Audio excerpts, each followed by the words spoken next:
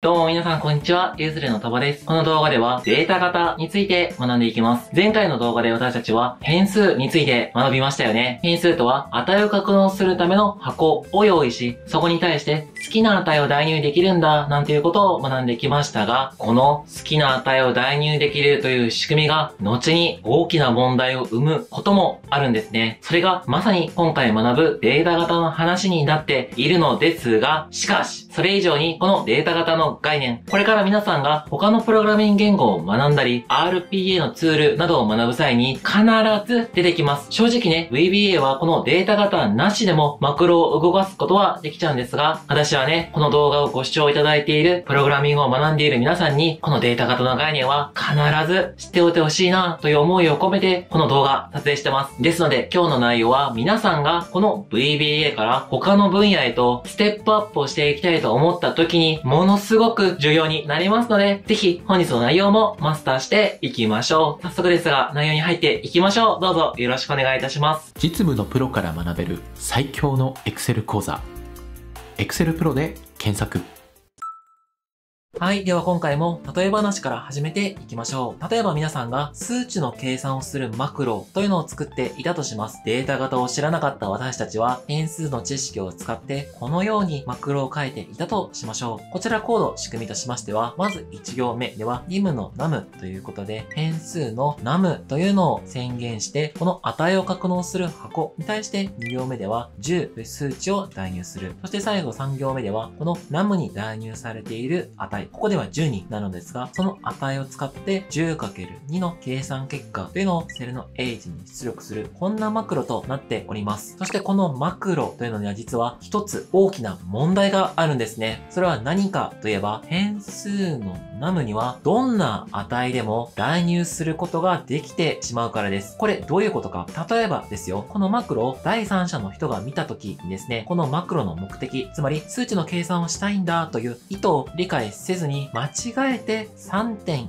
14の小数であったり、こんにちはなんていう文字列を代入してしまったとします。これは数値の計算をしたいんだという私たちの意図や目的とは異なりますよね。しかしこの変数という箱にはどんな値でも代入することができてしまいます。そのためこういった小数であったり文字列であったとしても変数へ代入することができてしまうんですね。もちろん3行目の部分で文字列と数値っていうのは計算できないので、この時点でエラーとはなるのですが、一番最初、こちらの部分では、一応は変数に対して文字列を代入することができてしまいます。こんな風に変数にはどんな値でも代入することができるので、ものすごく便利である一方で、コードが長くなったりとか、他の人と一緒に開発をするという場面では、間違った値を代入する可能性も出てきます。そのため、変数へ代入できる値の種類を制限できる仕組みというのが新たに必要となってくるわけなんです。では、こちらのコードをデータ型を使って書き直すとどうなるのか、データ型を使って数値を計算するマクロ書き直したのがこちらとなります。じゃんあんまり変わってなさそうにも見えるのですが、こちら as long という言葉が注目された点にお気づきでしょうかまさにここが変数に対してデータ型を指定している部分なんです。この変数 num の後に as long という文言を付け加えると、この変数の num には整数しか値を代入することができなくなります。小数や文字列はダメなんです。整数のみしか代入することができなくなります。これが変数に代入できる値の種類を制限するデータ型の仕組みとなっております。これがまず概要となっているのですが、もう少しこちら詳しく内容をご説明させてください。そもそもデータ型とは何かといえば、変数に入るデータの型を制限することからデータ型なんていう名前がついています。そして私の経験上ですね、このデータ型を学び始めると、この型という言葉があまりこうピンとこない方が多いんですよね。この型とは一体何なのか、ここで言う型とは大きさやサイズ、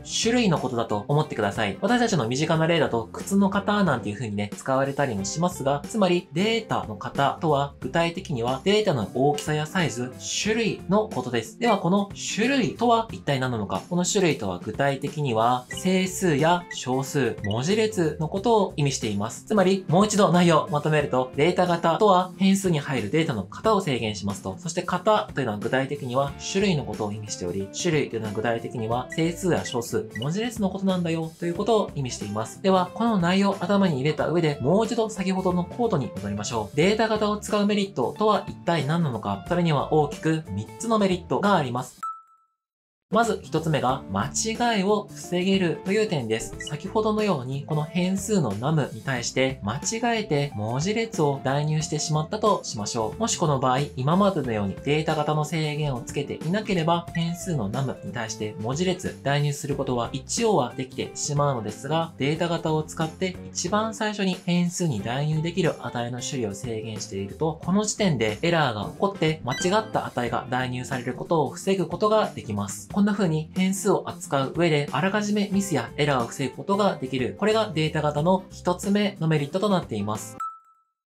そして次に2つ目のメリットが見やすさの観点です。というのもこちら右側のように変数にデータ型の指定がなければこの変数にどんな種類の値が入るのかというのが全くわかりません。整数も入る可能性もあれば小数もありますし文字列が入る可能性もあり得ますよね。いやーこの変数にはどんな値が入るんだろうなというのを周りのコードを調べながらその目的や意図というのを読み解く必要が出てきてしまうんですね。これってマクロを作っていく上でかなり大きなストレスになります。しかし、左側のように、この変数の num には整数しか入りませんよと制限がかけてあると、一発でその変数の使い方であったり、目的や意図を理解することができます。こんな風にコードの読みやすさを向上させてくれるのも変数を使うことの大きなメリットの一つとなっております。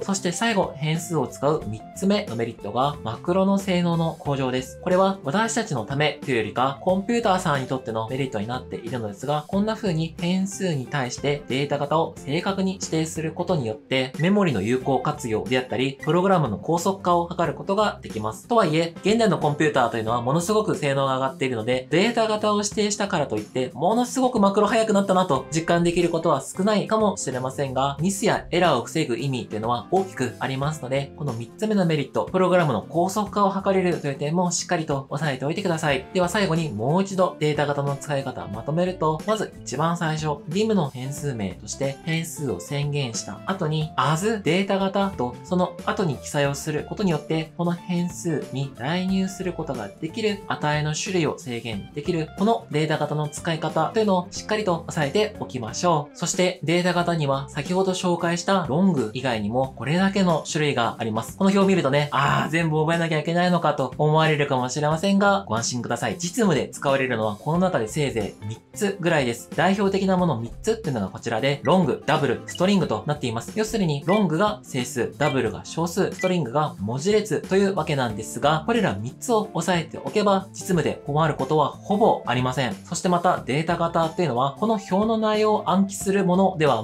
全くなくて、使っていくうちにだんだんと慣れてていくものです。なので皆さんとこれから一緒に変数を宣言する際には、このデータ型もセットで使うことによって一緒に慣れていきたいなと思っております。では、データ型を何も指定しなかった場合はどうなるのでしょうか？例えばこのような形です。team の num と変数を宣言して、その後に as ほにゃららとデータ型を何も指定しなかった場合です。この場合にはこの変数 num にはどんな種類の値を代入することができるのか？この場合には実はバリアント型が指定されます。このバリアント型、値の種類としては、あらゆる種類の型と書かれていますが、これはつまり整数でも小数でも文字列でもどんな値でも代入することができるという型なんですね。VBA にはね、こんな風に便利なバリアント型があるので、いやいや、わざわざね、ロングとかダブルとかストリングとかデータ型指定する必要ないじゃないかという方もいらっしゃるんですが、私個人的にはですね、やっぱりプログラミング慣れた段階で正確に型を指定することというのは、ものすごく重要なことだと思っておりますので、初めのうちはこのバリアント型で変数使っていただいて構わないのですが、だんだんと慣れたタイミングでぜひ整数、小数、文字文字列使う場合には、こちらのデータ型もセットで使っていただけるとすごく嬉しいなと思います。というわけでここまでがデータ型の概要とそのメリットについてでした。はい、皆さんお疲れ様でした。データ型についてもう一度内容を復習して終わりにしましょう。データ型とは変数とセットで使われる仕組みとなっており、この変数へ代入することができる値の種類、具体的には整数とか小数とか文字列とかこういった値の種類を制限することができる、そんな仕組みとなっておりました。こちらのポイントをしっかりと押さ押さえておいてください。そして次回以降の動画では残りもう2つの重要なステートメント、条件分岐と繰り返し処理について学んでいきます。ぜひお楽しみに。というわけで次回の動画でお会いできること楽しみにしております。See you next time. バイバーイ。